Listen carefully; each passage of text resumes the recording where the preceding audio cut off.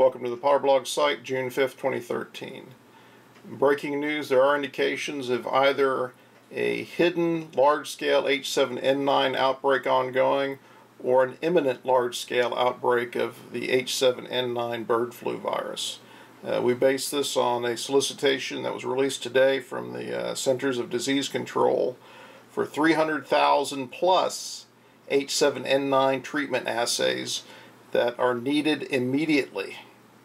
I guess they're needed immediately enough that the CDC didn't even have to spell immediately properly for the H7N9 outbreak.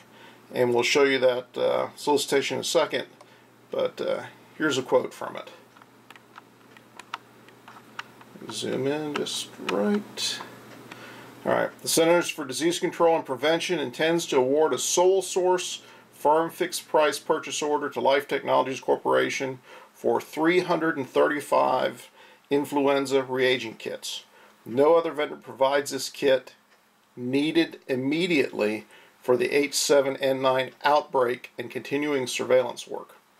Well, each one of these 335 kits has the capability of testing 960 assays or viruses. Here's the uh, web page for the kit. And if you look right over here,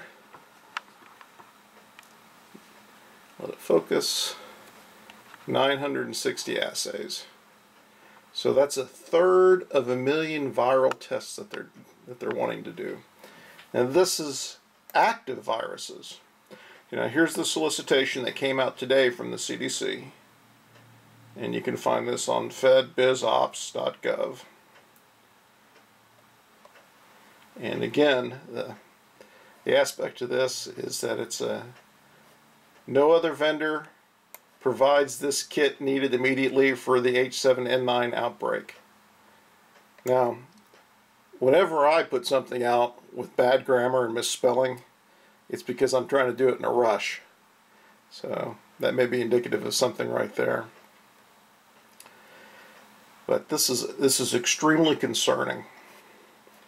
Now, at the same time, there is also a meeting of the uh, National Vaccine Advisory Committee that is going to go on on June 11th. And it's actually a, a public meeting. I'm going to show you the draft for this, for this meeting. And let me zoom in on this. We'll show you how serious this is, what's going on. Uh, here's the avian influenza vaccine meeting. Uh, avian influenza, an epidemiological update by Dr. Nancy Cox of the CDC. She is the director of the influenza division at the Centers of Disease Control. And following her is uh, Dr. Robin Robinson from BARDA. His topic is research and development of influenza A H7N9 vaccine. Now, Dr. Robinson from BARDA, he is the director of BARDA. Now, BARDA is in essence, is sort of the bio warfare version of uh, DARPA. You can look up DARPA and BARDA and understand what they're doing. So, well, what does this mean? Just a public meeting. Well, uh, Dr. Nancy Cox just held a vaccine dinner club meeting on May 9th, 2013, a special seminar. And this special seminar was sponsored by the Center for Public Health Preparedness and Research.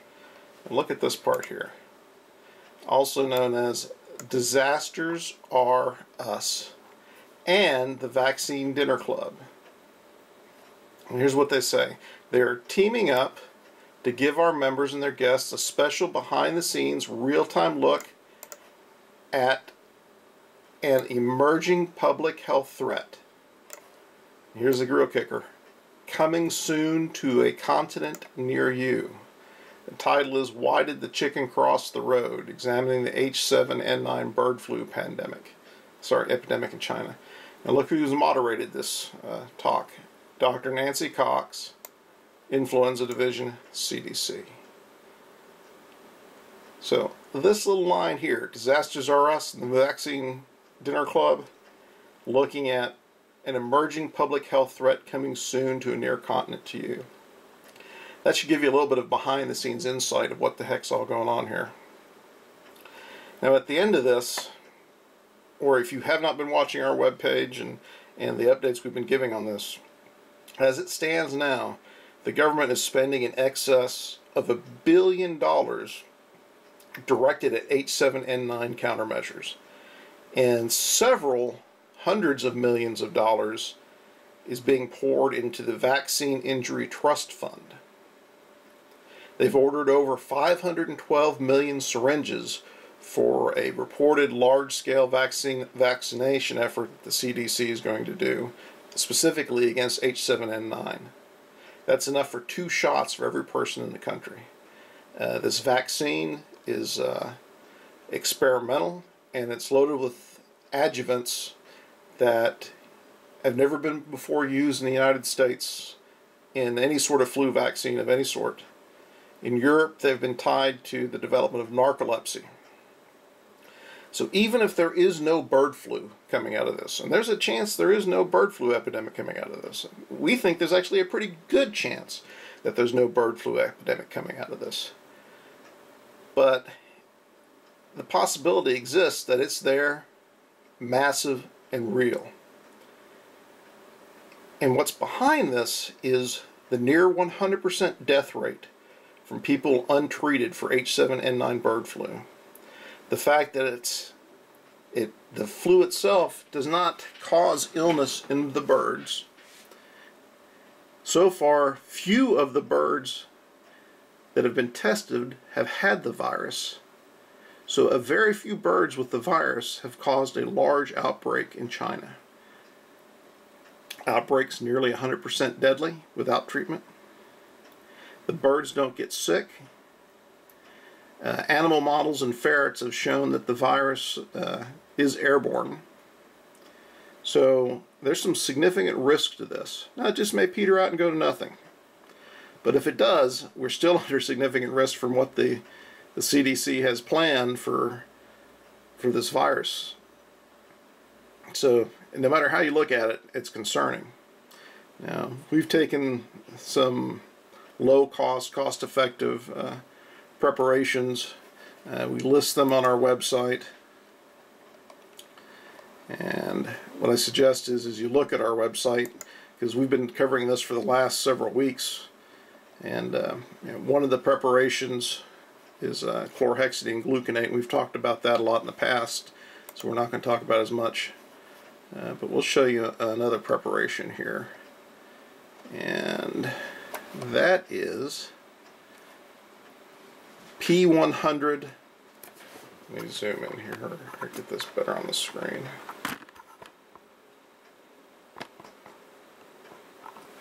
P100 or surgical N95 masks. And you see these here on uh, links on our webpage from Amazon. Uh, this is a P100 mask with an exhale valve. The rest of these are surgical N95 masks. Now these numbers are important. Uh, P100 is uh, really what you're looking for.